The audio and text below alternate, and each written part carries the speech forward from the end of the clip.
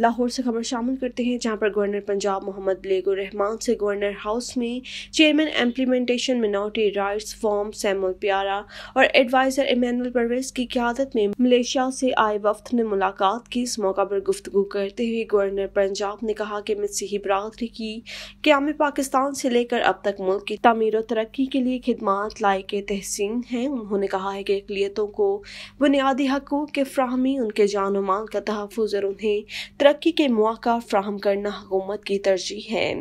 Governor ने कहा है कि सरकारी मुलाजमतों में अकलीतों के लिए कोटा मुख्त किया गया, जबकि पार्लियामेंट में भी अकलीतों को नुमाइंदगी दी गई है। पाकिस्तान के आइन और कानून के मुताबिक अकलीतों को मसावी हकूक और मजहबी आज़ादी हासिल है।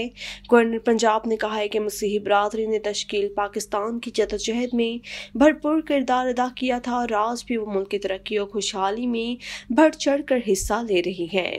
Chairman implementation minority rights forum Samuel Pyara ने कहा है कि पाकिस्तान का आइन अकलीतों के हकूक के तहफ़ के हवाले से दुनिया का बेहतरीन आइन है। उन्होंने कहा है कि पाकिस्तान में बसने वाली तमाम अकलीतों को मजहबी आज़ादी हासिल है।